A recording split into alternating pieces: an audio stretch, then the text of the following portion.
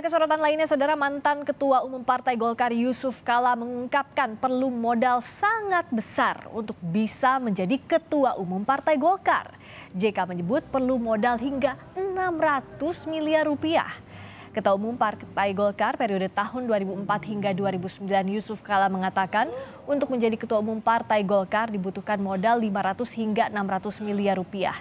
JK menyebut biaya besar untuk menjadi ketua umum tak hanya di Partai Golkar, tetapi hampir di semua parpol. Saat ini internal Partai Golkar sedang menghangat usai sejumlah politisi seniornya mendorong digelar Munaslup untuk mengganti ketua umum.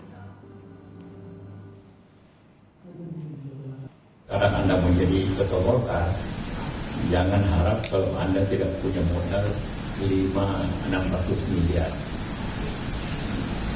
Ya, saya bicara tentang partai. Hampir semua partai begitu, terkecuali partai yang pendirinya masih ada, kayak PDIP, kayak Nasdem, dan punya nah, uh, tapi partai yang sudah go artinya uh, pemilihannya uh, langsung, itu butuh biaya yang besar. Ketua Umum Partai Golkar periode tahun 2004 hingga 2009 Yusuf Kala menyebut perlu modal 600 miliar rupiah untuk jadi Ketua Umum Partai Golkar. Untuk apa biaya yang sangat besar itu? Kita akan berbincang dengan Direktur Eksekutif Indikator Politik Indonesia, Burhanuddin Muhtadi. Selamat malam Mas Burhan. Malam, Friska. Kalau bicara soal modal untuk jadi ketum Golkar yang disampaikan Pak JK itu besar sekali. Apa memang sudah lumrah? Nah ini eh, pernyataan Pak JK kan disampaikan di depan acara eh, pemuda-pemuda mengenai topik pemuda dan politik. Dan terus terang pernyataan tersebut bisa menjadi iklan yang buruk hmm. bagi partai politik kita, terutama buat anak muda yang eh, sedari awal sangat kritis ya. melihat demokratisasi internal di partai. Dan jangan lupa Pak JK adalah saksi hidup yang pernah menjadi ketua umum Partai Golkar setelah mengalahkan Akbar Tanjung di Kongres di Bali 2004. Jadi pertanyaannya adalah apakah ini refleksi dari eh, pernyataan atau pengalaman pribadi Pak JK ketika memenangkan Munas Golkar eh, mengalahkan eh, Pak Akbar Tanjung atau hasil observasi beliau. Nah ini kan pertanyaan penting. Kalau misalnya memang uh, betul yang disampaikan oleh Pak JK, berarti besar sekali ongkos yang diperlukan untuk menjadi orang nomor satu di partai politik. Hmm. Dan kemudian akan menimbulkan pertanyaan lebih jauh. Buat apa?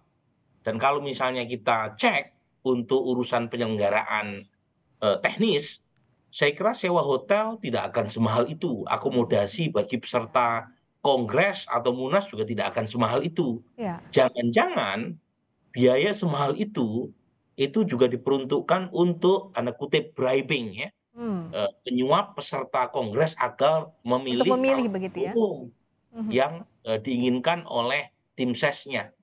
Jadi itu mungkin yang menjelaskan mengapa sampai keluar angka sebesar itu. Dan ini lagi-lagi seperti mengkonfirmasi uh, rahasia umum yang sudah kita diskusikan Okay. Ya, belakang. Jadi menurut saya ini satu iklan buruk lah ya, dan uh. menurut saya uh, satu praktek yang jangan-jangan uh, mengkonfirmasi apa yang selama ini berkembang di belakang layar. Oke, apakah ini terjadi di Golkar saja? Karena kalau Pak JK bilang tidak hanya di Golkar begitu, di parpol lain pun, apa iya pada faktanya demikian? Ya, uh, mungkin saja terjadi di partai-partai lain ya, uh, bukan hanya di Golkar.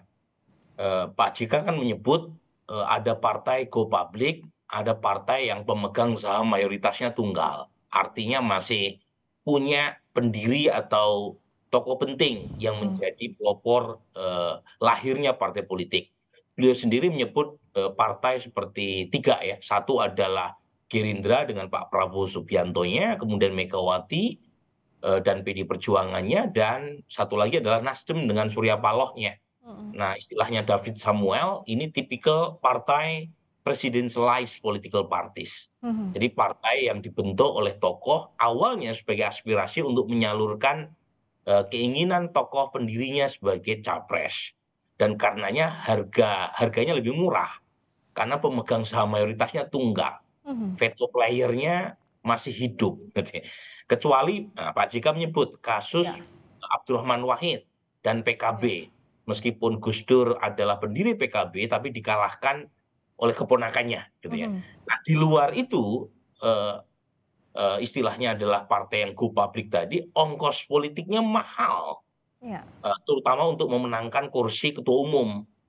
Nah, mungkin variatif ya, Friska ya, ada Ya. yang tidak semahal Golkar, tapi overall tetap mengeluarkan ongkos yang tidak kecil dalam rangka memenangkan pertarungan.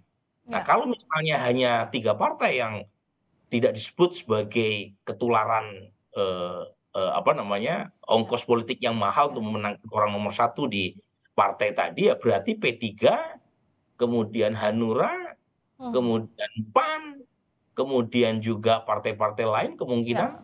juga sama seperti yang disampaikan oleh Pak JK. Ya tadi, Mas, Kalau misalnya mereka mengatakan tidak, seharusnya mereka protes ke Pak JK.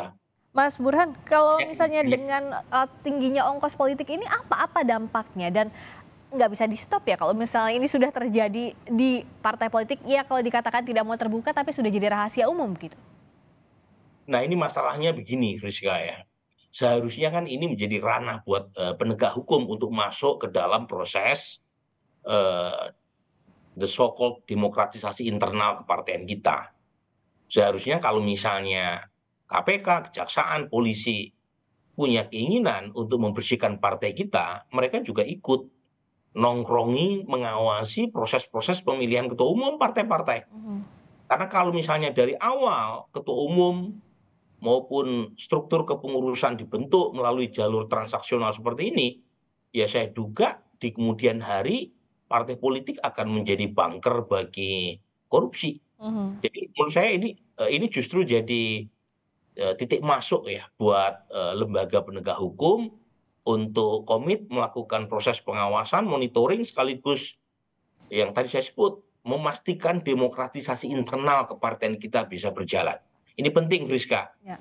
Karena eh, reformasi politik sudah kita lakukan secara masif pasca 98 tetapi sayangnya partai politik sebagai instrumen penting demokrasi sering kali gagal mendemokratisasikan dirinya sendiri termasuk dalam proses pemilihan ketua umum. Harusnya kan mereka memberi contoh. Kalau betul bahwa demokrasi itu tumbuh di sistem kepartian kita, harusnya partai politik yang paling demokratis dulu. Bukan uang yang justru menentukan pemilihan ketua umum ya. Seperti yang tadi Pak JK sampaikan. Oke, tapi dengan modal besar begini, impact-nya juga tadi um, Mas Burhan bilang diawali dengan transaksional, ke belakangnya juga akan demikian. Tapi ini yang Mas Burhan lihat sejauh ini apakah belum bisa diputus mata rantainya? Nah ini memang sangat kompleks ya masalahnya. Pertama adalah sistem keuangan partai kita sangat tidak transparan. Kemudian eh, subsidi negara untuk partai politik kita itu jauh dari cukup. Untuk dua hal Friska, kebutuhan partai politik ya berkaitan dengan eh, eh, apa namanya fungsi mereka. Satu adalah political finance ya yaitu untuk kepentingan kampanye atau eh, keuangan politik ya. Ya. Yang kedua adalah untuk operational funds untuk kebutuhan operasional.